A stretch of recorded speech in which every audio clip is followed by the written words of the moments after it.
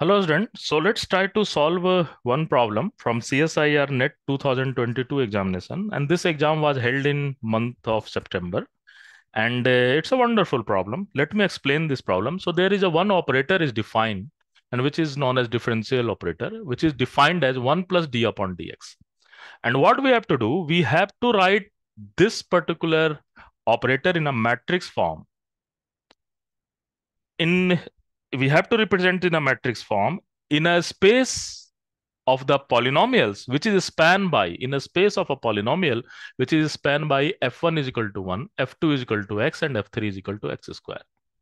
So we have to write this particular operator A in a matrix form. Obviously, we have to write it in 3 cross 3 matrix form. So what we are just going to do, we just assume there is some function fx and which is given by a1 into 1, a2 into x, and a3 into x square. And one can be, and this can be written as this fx operator or this fx function in a matrix form, I can represent as a1, a2, a3. What is meaning of that? Meaning of that, A1 is the coefficient of the constant term. So this first place, this first place is the coefficient of constant term.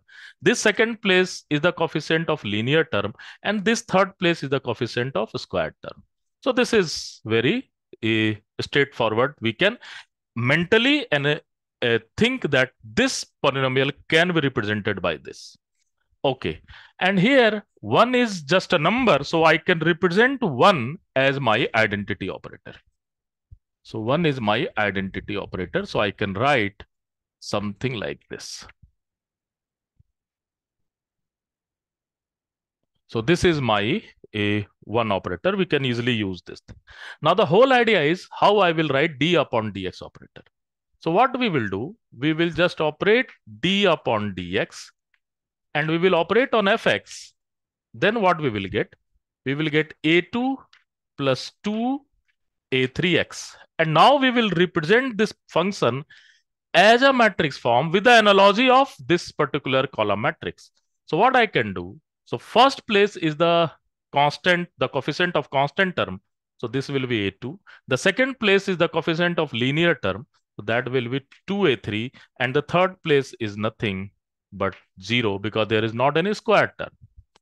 And I can write this function as f dash x. So obviously, if you will differentiate anything, that will be, you will get f dash x. And what is the basic uh, nature of, uh, basic uh, definition of uh, operator dfx will give us f dash x. So this is basic definition of operator. So you have to uh, use this particular definition. Now, I can assume this is some square matrix, this is column matrix, and this is again column matrix. So this is definition of operator D. So I can represent my D operator as D11, D12, D13, D21, D23, D, sorry, D22, D23, D31, D32, D33, which will operate on given function that is A1, A2, A3, and which will give the function A2, 2A3, and 0. And by this particular equation, so I can, this is written in a form of function, and this is written in form of matrix. And whatever the matrix is given, whatever matrix we have uh, just chosen, and then we have used our property of differentiation and we get this thing. Now the whole idea is how we will get all these nine elements. So let's go for this final exercise. So I am just uh, removing all this part and we have basically the equation is can be written as d11 a1 plus D12 A2 plus D13 A3 must be equal to A2 So from here, we will equate the coefficient of A1, A2, and A3. So we will get D11 is equal to 0, D12 is equal to 1, D13 is equal to 0. Wonderful. Similarly, we will go for second one, and this is very interesting. So D21 A1, D22 A2, and plus D23 A3 is equal to 2 time A3. So what will happen here? D21 is equal to 0. D22 is equal to 0. But D23 is equal to 2. And now last thing is D31 A1, D32 A2 plus D33 A3 is equal to 0. That means all other term D31 is equal to 0. D, so this is your D, this is your also D. So D32 is equal to 0. D33 is equal to 0.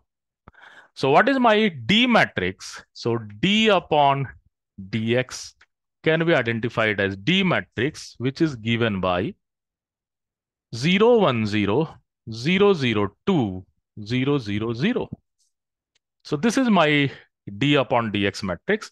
And now we have to finally uh, write the matrix A that is 1 plus dx. So what is 1 plus dx? So I can use this space or you can remove this one.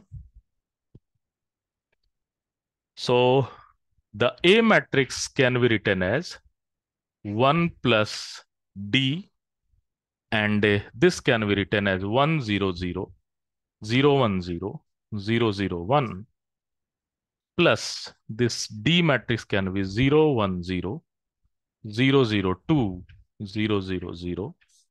And this can be written as 1, 1, 0, 0, 1, 2, 0, 0, 1.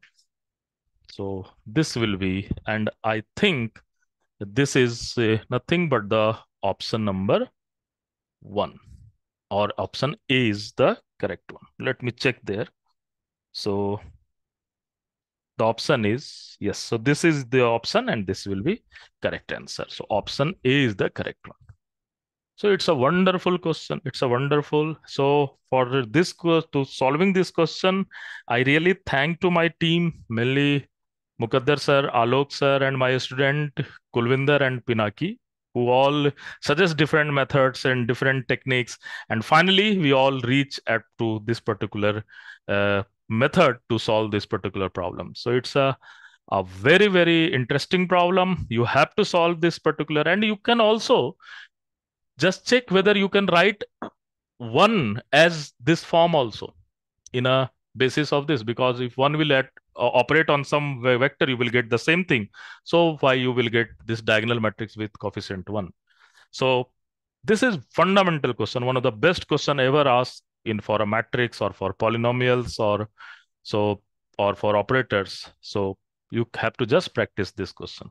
Thank you, everyone.